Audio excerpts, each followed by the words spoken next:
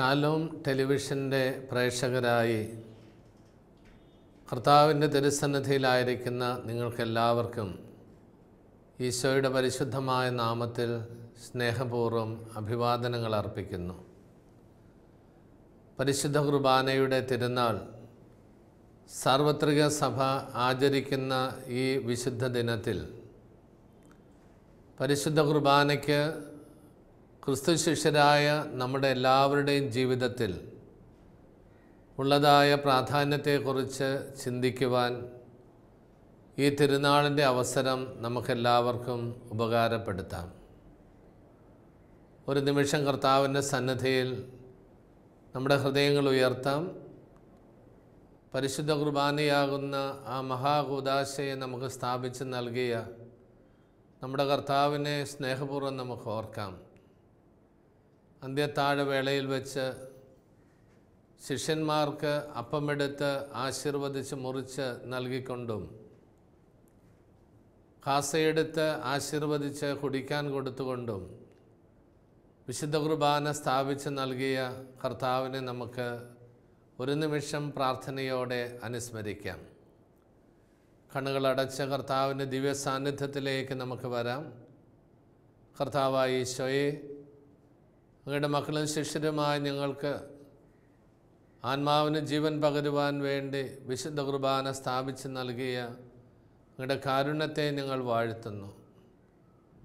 സാർവത്രിക സഭ വിശുദ്ധ കുർബാനയുടെ തിരുനാൾ ആചരിക്കുന്ന ഈ അവസരത്തിൽ ഈ ഹുദാശയുടെ മഹത്വത്തെക്കുറിച്ച് ഓർക്കുന്നതിനും അതിന്റെ ആഴങ്ങൾ മനസ്സിലാക്കുന്നതിനും അതുവഴി ഞങ്ങളുടെ ജീവിതങ്ങളെ നവീകരിക്കുന്നതിനും ഞങ്ങളെ ഓരോരുത്തരെയും സഹായിക്കണമേ. ഈ വചനം ശ്രവിക്കുന്ന എല്ലാവർക്കും വിശുദ്ധ കുർബാനയോടുള്ള ഭക്തിയിൽ വളരുവാൻ സഹായിക്കണമേ എന്ന് ഞാൻ പ്രാർത്ഥിക്കുന്നു. അമ്മയായ മറിയമ്മേ അമ്മയുടെ പ്രത്യേകമായ മാധ്യസ്ഥവും ഞങ്ങളോടുകൂടി ഉണ്ടായിരിക്കണമേ. പ്രിയപ്പെട്ടവരെ രണ്ടാം വത്തിക്കാൻ കൗൺസിൽ വിശുദ്ധ കുർബാനയെക്കുറിച്ച് പഠിപ്പിക്കുന്ന അവസരത്തിൽ എടുത്തു പറയുന്ന ഒരു വചനം വിശുദ്ധ കുർബാന ക്രൈസ്തവ ജീവിതത്തിന്റെ ശക്തി കേന്ദ്രവും ഉന്നതമായ പ്രകാശനവുമാണെന്നാണ്. തിരുസഭയെക്കുറിച്ചുള്ള പ്രമാണരേഖയിലാണ് വത്തിക്കാൻ കൗൺസിൽ ഈ രഹസ്യത്തെക്കുറിച്ച് പഠിപ്പിക്കുന്നത്.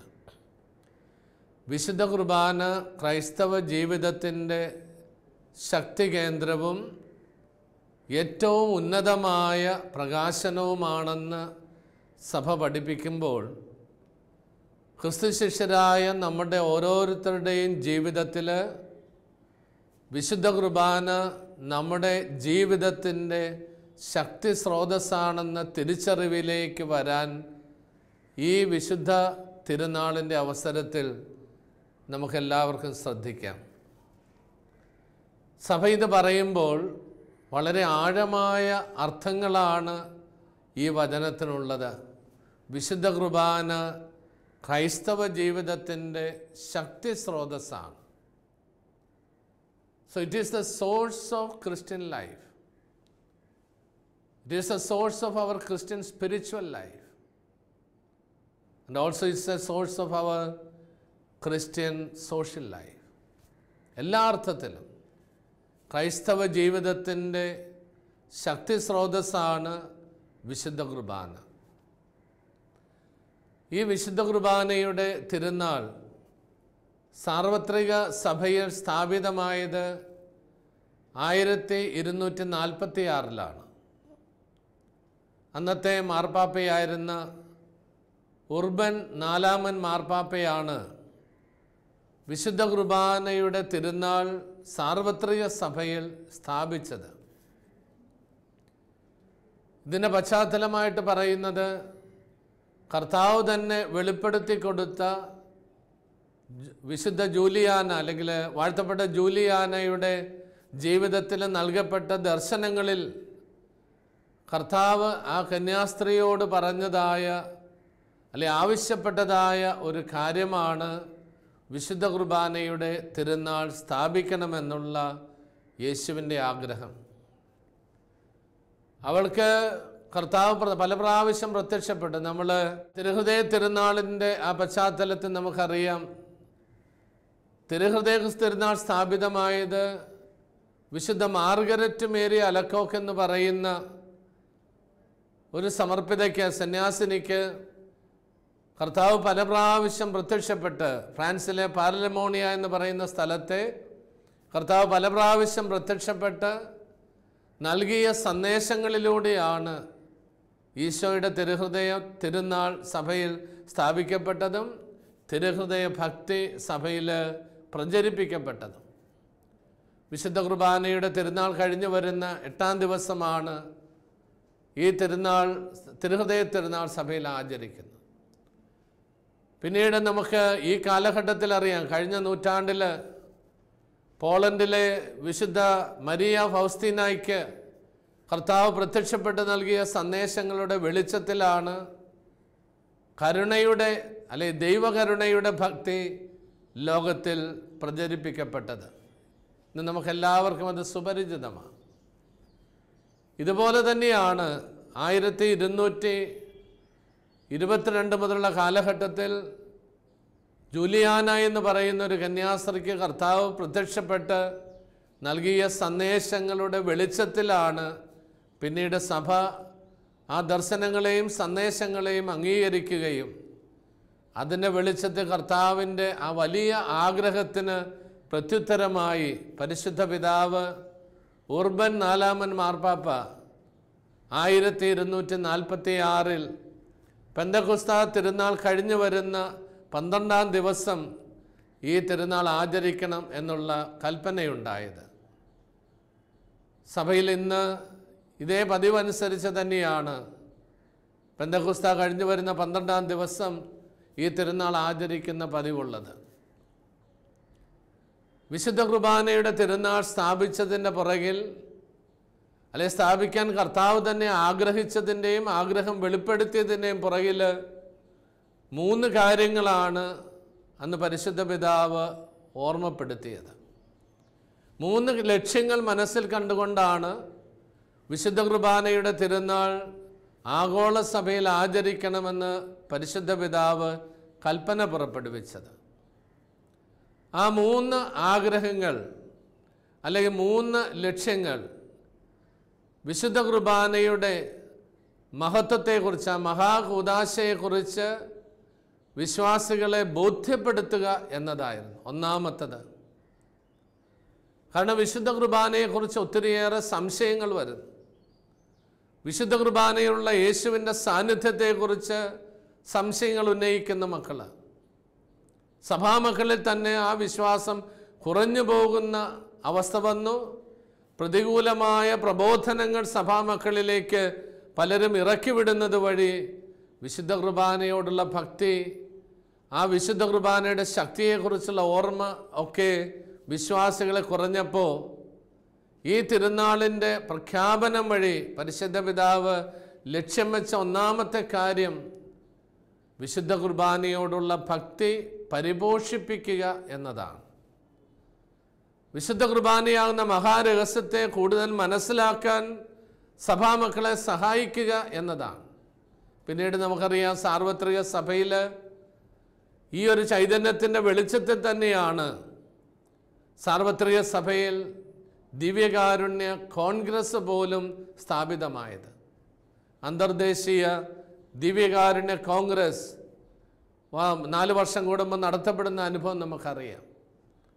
അപ്പോൾ ഈ ഒരു വലിയ അനുഭവമാണ് ദിവ്യകാരുണ്യ ഭക്തി പ്രചരിപ്പിക്കുക ദിവ്യകാരുണ്യത്തിലുള്ള യേശുവിന്റെ സാന്നിധ്യത്തെക്കുറിച്ച് ബോധ്യപ്പെടുത്തുക വിശുദ്ധ കുർബാന എന്ന കൂതാശയുടെ ശക്തിയും മഹത്വവും പ്രാധാന്യവും എല്ലാം വിശ്വാസികളെ ഓർമ്മപ്പെടുത്തി അവരെ ഉണർത്തി നിർത്തുവാൻ ഈ തിരുനാൾ സഹായിക്കണം എന്ന ലക്ഷ്യത്തോടു കൂടിയാണ് പരിശുദ്ധ പിതാവ് ഈ തിരുനാൾ സാർവത്രിക സഭയിൽ ആഘോഷിക്കുവാൻ കൽപ്പന പുറപ്പെടുവിച്ചു രണ്ടാമത്തെ ലക്ഷ്യമായിട്ട് പറയുന്നത് വിശുദ്ധ കുർബാനയെക്കുറിച്ച് വിശ്വാസികൾ അറിഞ്ഞാൽ മാത്രം പോരാ മറിച്ച് ആ അറിവ് ജീവിതത്തിലേക്ക് എത്താൻ സഹായിക്കണം.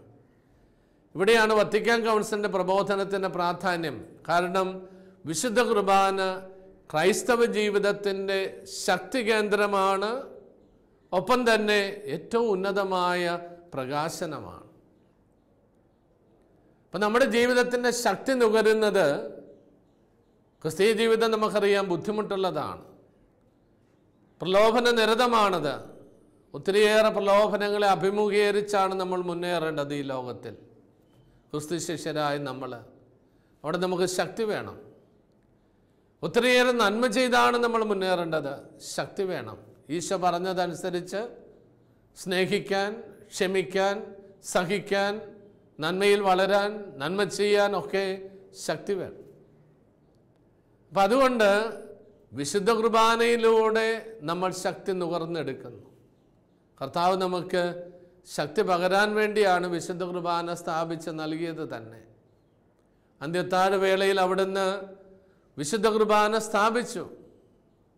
ഇതെന്റെ ഓർമ്മയ്ക്കായി നിങ്ങൾ ചെയ്യുവിനെന്ന് പറഞ്ഞ് ശിഷ്യന്മാരെ ഈ ദൗത്യം ഈശോ ഏൽപ്പിക്കുകയാണ് ചെയ്തത്.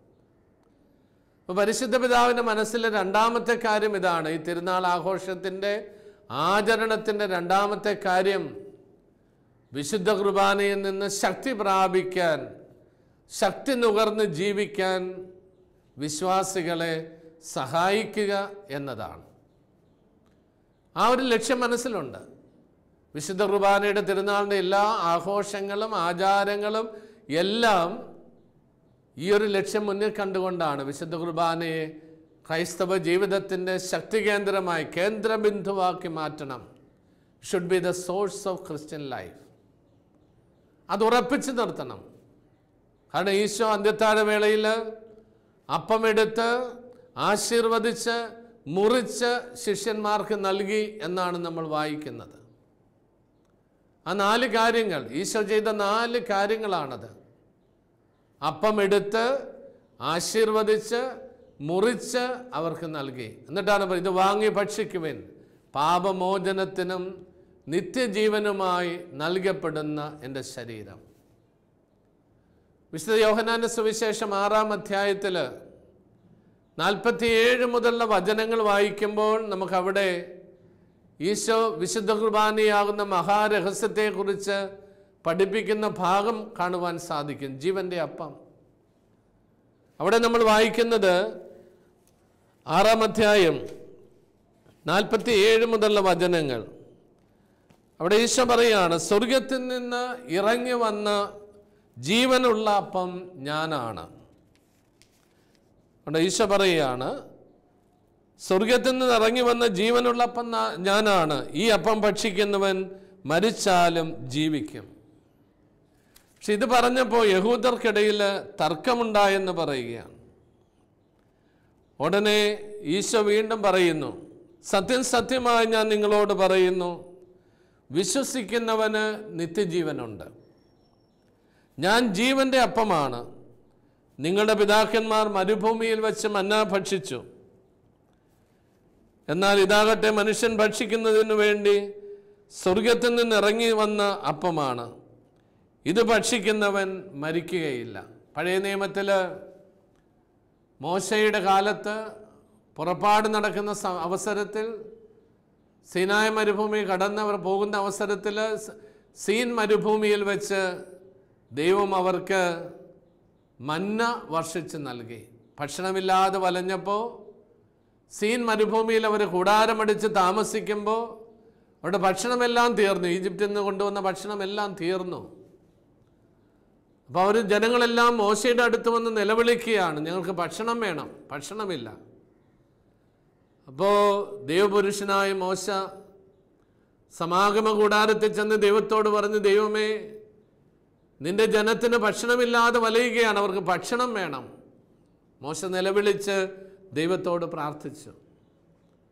ആ പ്രാർത്ഥന കേട്ട ദൈവം പറഞ്ഞു മോശയുടെ നിലവിളി കേട്ട ദൈവം പറഞ്ഞു നാളെ പ്രഭാതത്തിൽ അവർക്ക് ഞാൻ ഭക്ഷണം നൽകിയിരിക്കും. നീ ധൈര്യമായിട്ട് പോയി പറഞ്ഞോളാൻ പറഞ്ഞു. അതനുസരിച്ച് മോശ ജനത്തോട് പറഞ്ഞ ദൈവം പറഞ്ഞിരിക്കുന്നു നാളെ നിങ്ങൾക്ക് ഭക്ഷണം നൽകിയിരിക്കും. പിറ്റേ ദിവസം പ്രഭാതത്തിൽ അവർ ഉണർന്നപ്പോൾ അവർ കൂടാരമടിച്ചിരുന്ന ദേശത്ത് മുഴുവനും വെൺമഞ്ഞ് പെയ്തതുപോലെ ഏതൊരു അറിവില്ലാത്ത അവരെ ഒരിക്കലും കാണാത്തൊരു വസ്തു നിറഞ്ഞു കിടക്കുക മഞ്ഞ് പെയ്തതുപോലെ കിടക്കുക. അതിനെക്കുറിച്ചെല്ലാം ബൈബിളിൽ വളരെ വ്യക്തമായിട്ട് പഠിപ്പിക്കുന്നുണ്ട് പുറപ്പാടിന്റെ പുസ്തകം പതിനാറാം അധ്യായം. അവിടെ ആ ദൈവം മന്ന വർഷിച്ചു. ഇതാണ് മോശ പറഞ്ഞു ഇതാണ് ദൈവം നൽകുന്ന ഭക്ഷണം. അതിനെക്കുറിച്ച് വളരെ സുന്ദരമായിട്ട് മധുരമുള്ള തേൻ പോലെ മധുരിക്കുന്ന ഭക്ഷണമായിരുന്നു അത് മന്ന. ഇപ്പോൾ കൂടാരം തുറന്നവരെല്ലാം കണ്ടത് അവർ കാണാത്തതായിട്ടുള്ളൊരു വസ്തു ലാ കൂടാരത്തിന് ചുറ്റും അവിടെ അടിഞ്ഞു കിടക്കുന്നതാണ്. മോശ പറഞ്ഞു എല്ലാവരും അത് വാരിയെടുത്തോളാൻ പറഞ്ഞു. പൊടിമാ അല്ലെങ്കിൽ അപ്പം ഉണ്ടാക്കാനുള്ള മാവ് മാവിന്റെ പൊടി അല്ലെങ്കിൽ പൊടിമാവ് പെറുക്കുന്നത് പോലെ എടുക്കുന്നത് പോലെ ഒരു പാത്രങ്ങളെ ശേഖരിക്കാൻ പറഞ്ഞു. അവരോട് ഭക്ഷിച്ചോളാൻ പറയുകയാണ്. അങ്ങനെ ദൈവം അവർക്ക് മന്ന നൽകി. പക്ഷേ സ്വർഗത്തിൽ നിന്ന് മന്ന വർഷിച്ച് നൽകിയെങ്കിൽ ആ മന്ന അവർ ഭക്ഷിച്ചുവെങ്കിലും അവരെല്ലാവരും മരിച്ചു പോയെന്ന് ഈശോ പറയുന്നു. എന്നാൽ ഞാൻ നൽകുന്ന അപ്പം അതുപോലെയല്ല. അതാണ് ഈശോ പറഞ്ഞത്. നിങ്ങളുടെ പിതാക്കന്മാർ മരുഭൂമിയിൽ വെച്ച് മന്ന ഭക്ഷിച്ചുവെങ്കിൽ അവർ മരിച്ചു. ഇതാകട്ടെ മനുഷ്യൻ ഭക്ഷിക്കുന്നതിന് വേണ്ടി സ്വർഗത്തിൽ നിന്നിറങ്ങിയ ജീവനുള്ള അപ്പമാണ്. ഇത് ഭക്ഷിക്കുന്നവൻ മരിക്കുകയില്ല സ്വർഗത്തിൽ നിന്നിറങ്ങിയ ജീവനുള്ളപ്പ അപ്പം ഞാനാണ്. ആരെങ്കിലും ഈ അപ്പത്തിൽ നിന്ന് ഭക്ഷിച്ചാൽ അവൻ എന്നേക്കും ജീവിക്കും.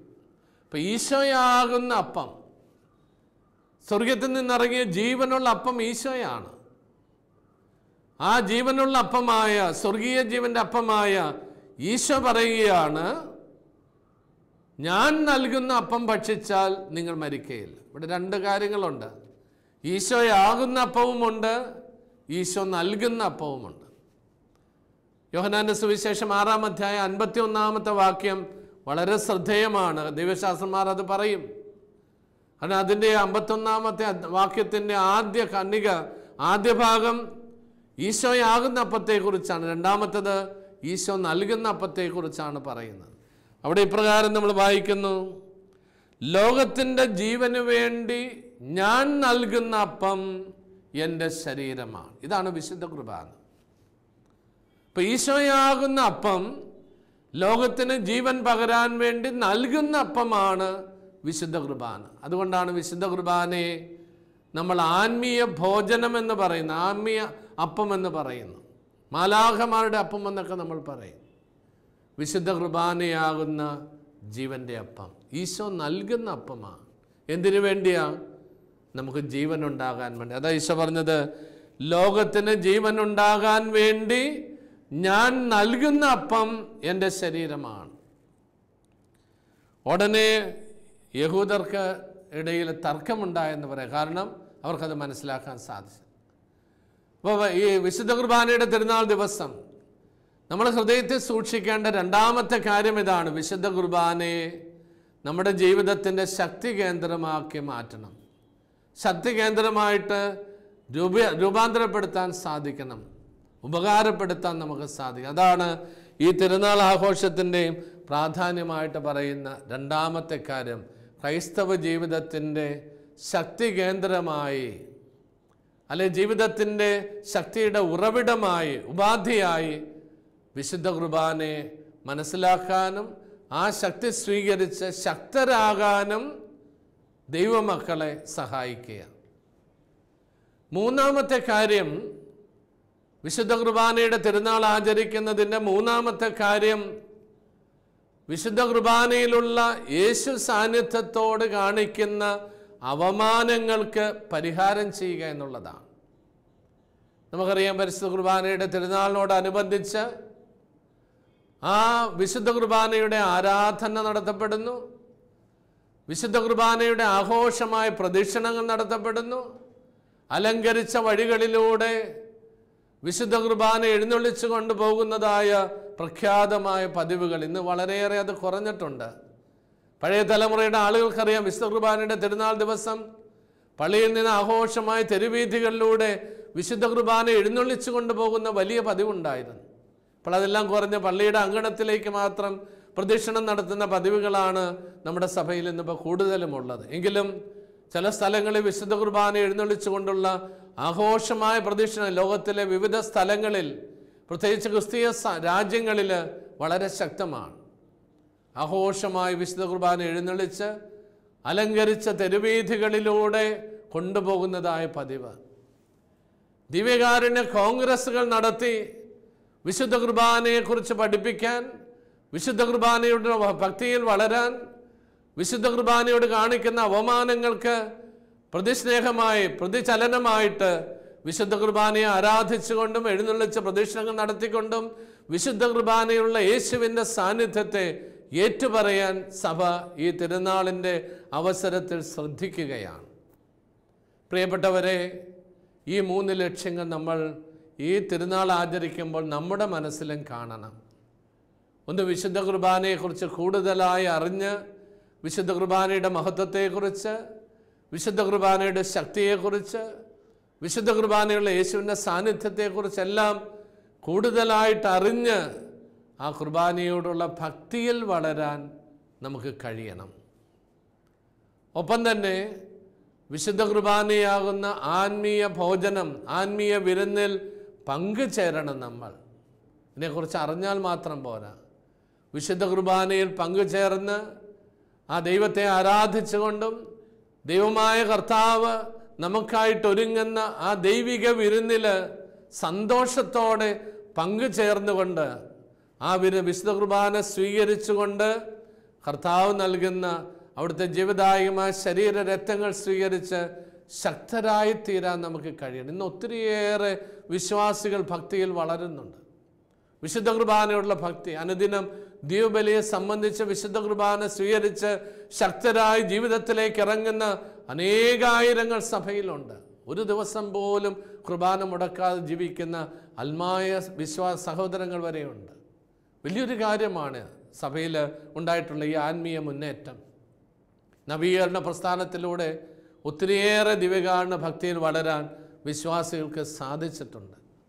ഒപ്പം തന്നെ സഭയിൽ സംജാതമായിട്ടുള്ള മൂന്നാമത്തെ കാര്യം കൂടിയാണ് വിശുദ്ധ കുർബാനയുടെ ആരാധന നിത്യാരാധന കേന്ദ്രങ്ങൾ നിത്യാരാധന നടത്തുന്ന സ്ഥലങ്ങൾ സമയങ്ങൾ. ഓരോ ധ്യാനങ്ങൾ നടക്കുമ്പോഴും മധ്യസ്ഥ പ്രാർത്ഥന വിശുദ്ധ കുർബാനയുടെ മുമ്പിൽ മധ്യസ്ഥം പ്രാർത്ഥിക്കുന്ന വിശ്വാസികളുടെ അല്ലെ മധ്യസ്ഥ പ്രാർത്ഥന കൂട്ടായ്മകളുടെ സാന്നിധ്യം ഇതെല്ലാം വലിയൊരു തെളിവാണ്. വിശുദ്ധ കുർബാനയിലുള്ള യേശുവിന്റെ സാന്നിധ്യത്തിലുള്ള ബോധ്യമാണ് വിശുദ്ധ കുർബാനയുടെ മുമ്പിൽ മുട്ടുകൾ മടക്കാൻ. ആ ദിവ്യകാരണ നാഥന്റെ സന്നദ്ധയിൽ ശാന്തതയോടെ ആയിരിക്കുവാൻ വിശ്വാസികളായ നമ്മെ എല്ലാവരെയും സഹായിക്കുന്നത്. ഈ ബോധ്യങ്ങളിൽ വളരാൻ ഈ ഭക്തിയിൽ ശക്തരായി തീരാൻ വിശുദ്ധ കുർബാനയുടെ തിരുനാളിന്റെ ഈ അവസരം നമുക്ക് ഉപകാരപ്പെടുത്താം. വിശുദ്ധ കർത്താവ് നൽകിയ ആ വലിയ സമ്മാനം നമ്മുടെ ആത്മാവിന് പോഷണമായി ഈശോ സ്ഥാപിച്ച് നൽകിയ ഈ മഹാഹോദാശയെ സ്നേഹപൂർവം നമുക്ക് സ്വീകരിക്കാം. ആ യേശുവിന്റെ ദിവ്യസാന്നിധ്യം വിശുദ്ധ കുർബാനയിൽ ഉണ്ട് എന്ന ആ വലിയ ബോധ്യത്തോടും വിശ്വാസത്തോടും കൂടെ നമ്മുടെ ആകുലതകളിലും ദുഃഖങ്ങളിലും എല്ലാം ഈശോയുടെ ദിവികാരണനാഥനായ യേശുവിന്റെ സന്നിധിയിലേക്ക് അണയാൻ ദൈവം നമ്മെ സഹായിക്കട്ടെ. ആ ദിവ്യകാരണനാഥന്റെ സന്നിധിയിൽ ഇരുന്ന് അവിടുത്തെ സ്നേഹം അനുഭവിച്ച് നമ്മുടെ ദുഃഖങ്ങളെല്ലാം ഇറക്കി വയ്ക്കാനും നമ്മുടെ ആവശ്യങ്ങളെല്ലാം പ്രാർത്ഥിച്ച് ശക്തി നേടാനും ഈ വിശുദ്ധ കുർബാനയുടെ തിരുനാൾ അവസരം നമുക്ക് ഉപകാരപ്പെടുത്താം. എന്തെങ്കിലും മന്നത ഈ കാര്യത്തിൽ വന്നു പോയിട്ടുണ്ടെങ്കിൽ വരും വർഷത്തിൽ ഈ ദിവ്യകാരുണ്യ ഭക്തി വിശുദ്ധ കുർബാനയെ സംബന്ധിച്ചുകൊണ്ടും ദിവ്യകാരുണ ആരാധനകളിൽ പങ്കുചേർന്നുകൊണ്ടും വിശുദ്ധ കുർബാനയെ അവഗണിക്കുകയും അവഹേളിക്കുകയും ചെയ്യുന്ന ജനങ്ങളോട് അവർക്ക് വേണ്ടി കൂടി കർത്താവിനെ ആരാധിച്ചുകൊണ്ടും ഈശോയെ സ്നേഹിച്ചുകൊണ്ടും സ്നേഹാദരവുകൾ പ്രകടിപ്പിച്ചുകൊണ്ടും ദിവ്യകാരണ ഭക്തിയിൽ വളരാൻ ഈ തിരുനാൾ നമ്മെ എല്ലാവരെയും സഹായിക്കട്ടെ അനുഗ്രഹിക്കട്ടെ എന്ന് പ്രാർത്ഥിക്കുന്നു. ദിവ്യകാരണ നാഥനായ ഈശോ നിങ്ങളെല്ലാവരെയും അനുഗ്രഹിക്കട്ടെ.